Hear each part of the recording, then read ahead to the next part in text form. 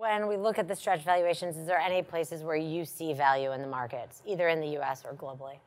So there's certainly a lot of value to be had globally, um, but there's also some value to be had in the US. Now, globally, if we were to just look at different indices, what we'd see is lower valuations. Um, even the emerging market space, the MSCI Emerging Markets Index, has a lower valuation than that of the S&P 500, and it has higher growth rates.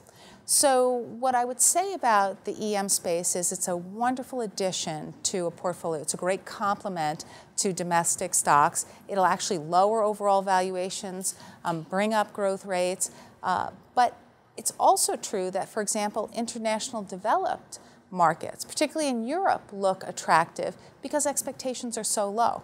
And so valuations are low. We don't see an awful lot of growth there, but we see growth that's exceeded recent expectations.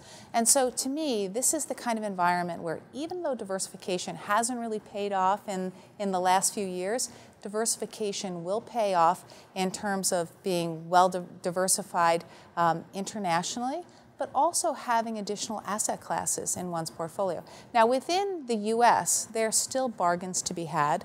Um, and also, I would say there are uh, areas where we want to pay for growth.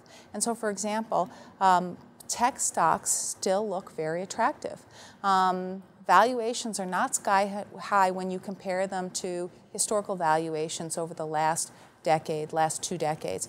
And in addition, um, those are areas where we're seeing um, pretty significant earnings and revenue growth over the next year or two. So um, it's, it's a good place to be. Also, dividend paying stocks. I mean, one message that comes through loud and clear um, about current monetary policy is that it's still accommodative, it's only going to slowly get less accommodative.